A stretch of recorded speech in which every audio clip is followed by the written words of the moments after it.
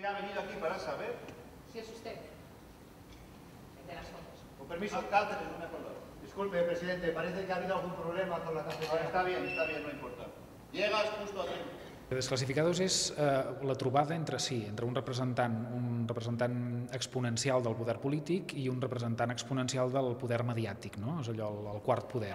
I nosaltres ho expliquem a partir d'una anècdota molt concreta, i és que una de les im- més importants periodistes del país ha d'entrevistar el president del govern i en aquesta entrevista ella disposa d'una informació, diguem-ne, classificada que si la treu a la llum en directe durant l'entrevista pot desmuntar el govern d'aquest president. Aleshores, ella ha de prendre la decisió de si realment desbanca o no desbanca del lloc de privilegi que ostenta el president del govern a aquest personatge.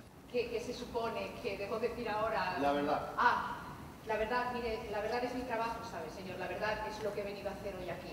Entonces habrá de decirme a qué huevo. No, no, mire, yo no sé decirle a qué huele este caballero porque es que yo no soy experta en perfumes. Jo sempre dic que l'èxit l'èxit de les obres que he fet fins ara, el 80% és d'haver tingut uns repartiments molt, molt espectaculars, realment que els actors han sigut molt bons i, i amb bons actors, encara que l'obra sigui una mica mediocre, si el text no és que sigui precisament un text molt brillant, els, els bons actors la fan, la fan, li donen consistència, no? i això és el que, és, el que fa que els espectacles tinguin, tinguin un, un gruix.